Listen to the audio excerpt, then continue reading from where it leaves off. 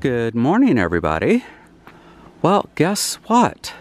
We have a hurricane coming. So, a lot of you guys have kind of reached out and asked what we're doing, how we pack up, our travel plans, emergency plans, all that kind of stuff when it comes to being full time in an RV.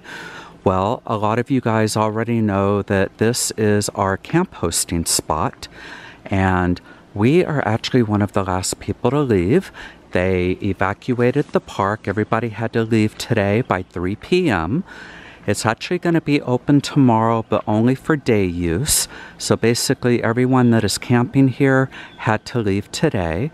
Fortunately, since I'm a camp host, I asked uh, very politely, and they were very accommodating, and they are letting me leave first thing tomorrow.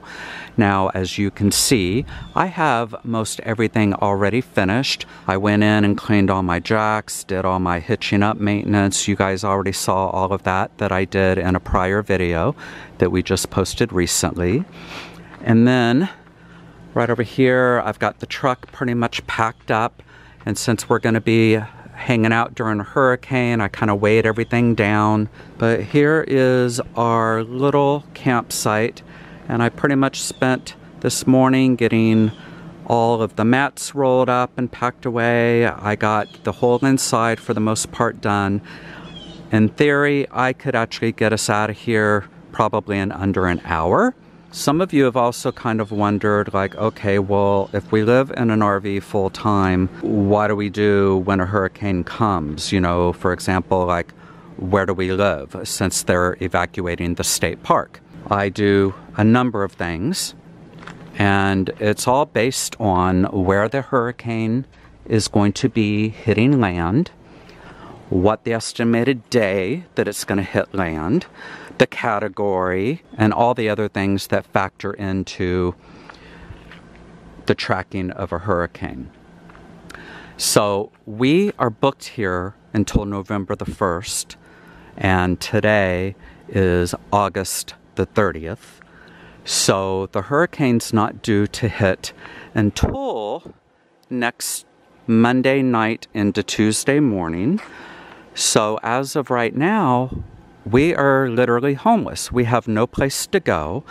So the other camp host, what they have decided to do is hitch up and they are literally just going to start driving south and hopefully be able to bypass most of the storm and they're just going to pretty much i think hit up walmarts and cracker barrels well i'm going to stay local and we're very fortunate to have ARV resort very near to the state park.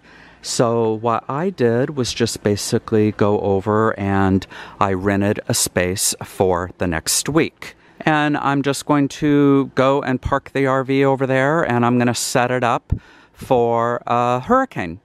So, you guys will be able to see as I kind of show you some of the little tips and tricks that you can do to make your RV as hurricane safe that it can be. I'm also very fortunate that the RV resort also has a tiny little motel. And then, just based on how windy and bad the weather gets, I'm literally just going to walk across the parking lot and go hang out in the hotel with Ziggy for the next couple of days and hunker down.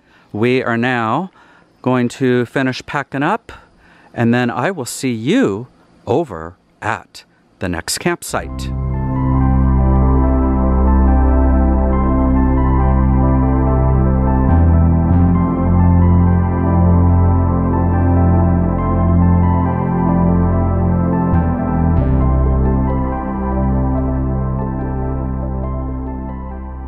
So, I wanted to talk to you guys about some of the things that I have done to prepare the RV.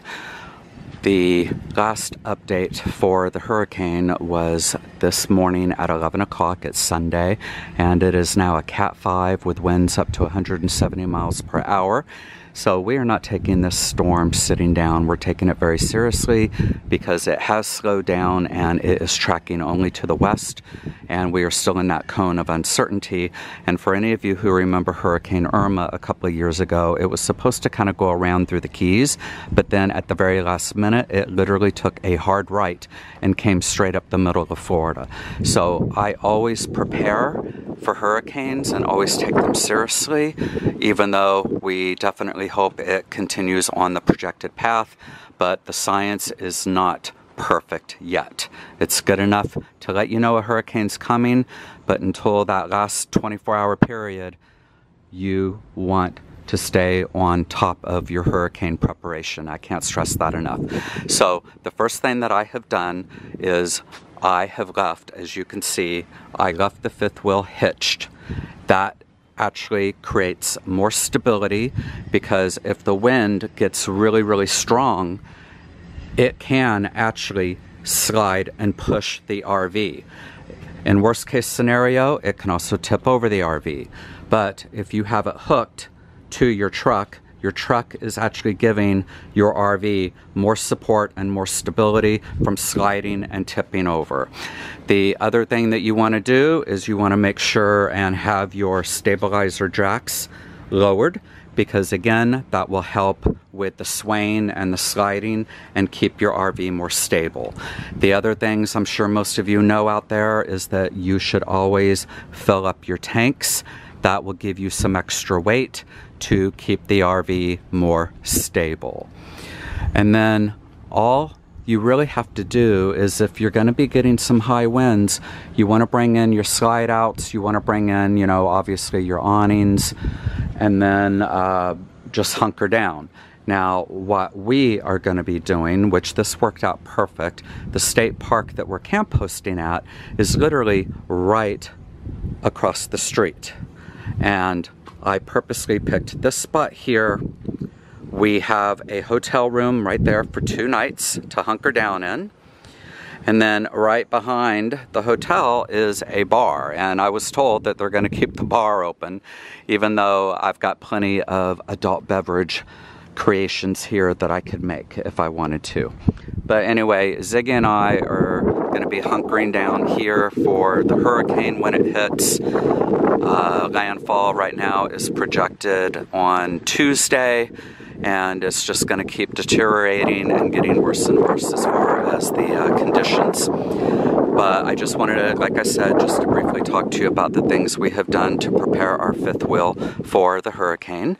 Now, I'm going to also do some recording of the scenarios and the wind and the weather and all of that stuff. I'll be recording us in the hotel room if that ends up happening. What's really cool is that the RV resort uh, that owns the hotel right over there, the motel, excuse me, uh, they are being very, very liberal with the bookings and all of that. I already even asked them, you know, what their cancellation policy would be, and they're pretty much going to waive all of that. So, fingers crossed, I'm hoping that we're not even going to have to go across the street and stay in the motel. And let's just hope that the hurricane is just going to stay off the Florida coast and out to sea. But we'll just be taking this a day at a time and seeing what's going to happen. But anyway, guys, I'm going to sign off real quick for right now. And I will just put kind of at the end of this video a little bit of uh, living through Hurricane Dorian bonus footage so you guys can kind of see what's going on.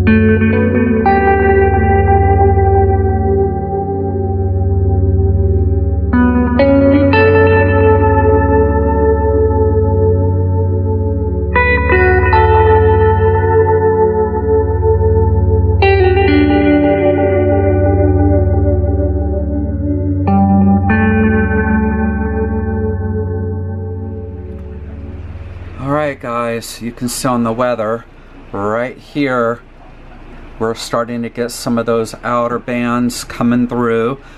And of course, it didn't start happening until it got dark outside. But I'll put the camera right up here. You can see the street lights and stuff. And you can hear the rain and once in a while it'll get really, really windy. Only expecting tropical storm force though.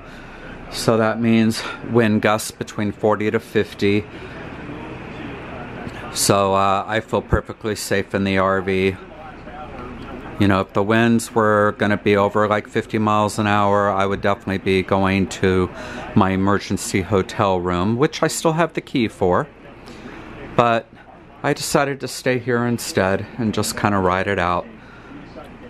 Dorian, are you ever going to leave? Well, it's Wednesday morning. I just woke up to this. And fortunately, Dorian has picked up some speed. Now it's going about 8 miles per hour. This has just won as the second slowest storm on the history books. The first slowest moving storm, uh, I learned this uh, on the news, was named Betsy, and within 24 hours, Betsy moved only 12 miles. Dorian, when it was down in the Bahamas, only moved 25 miles within 24 hours, but it's still just kind of hovering over central Florida. As you can see, the outer bands are still just giving us, you know, wind and rain and it's you know it's actually a really beautiful kind of breezy day. I'll show you guys through my window in just a second and then we'll step outside. But I took some really cool bonus footage last night of the sunset and the clouds and I'll be sticking that towards the end of this video so definitely stay tuned for that. You can't miss it. It's just going to be gorgeous and I also got this beautiful image of a rainbow against the storm clouds and it just looks amazing but we survived. We ended up not staying at the hotel room because the winds just weren't going to get high enough to justify that.